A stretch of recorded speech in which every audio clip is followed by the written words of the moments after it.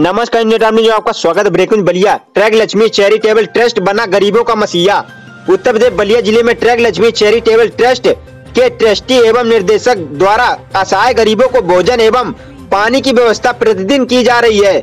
विश्वजीत ने बताया कि कोरोना वायरस के चलते पूरे देश में 21 दिन का लॉकडाउन कर दिया गया है।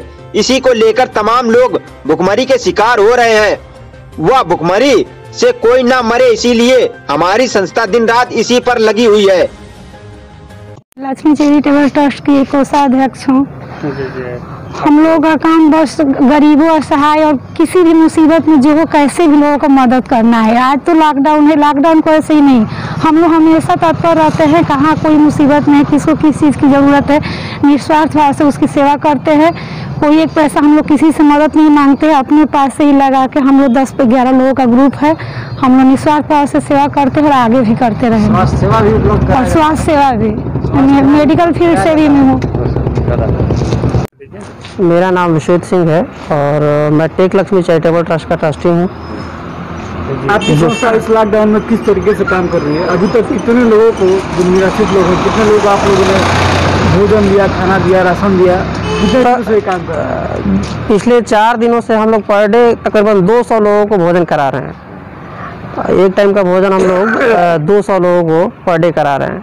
और ये लगभग तब तक चलेगा जब तक कि ये 14 अप्रैल तक का कार्यक्रम है हम लोगों का। देखिए भोजन अगर इनके आगे बढ़ता है ये कार्यक्रम लॉकडाउन तो आगे भी बढ़ाने का हम लोगों का प्रयास पूरा रहेगा।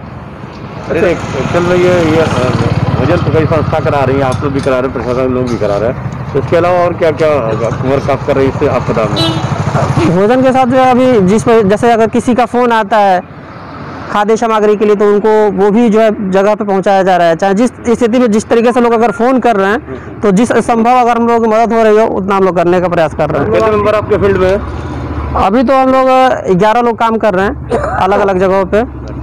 आपकी संस्था की सोच मतलब ये है कि कोई भी भूखा ना सो इस लॉकडाउन हाँ इस लॉकडाउन की स्थिति में कोई भूखा ना सोए।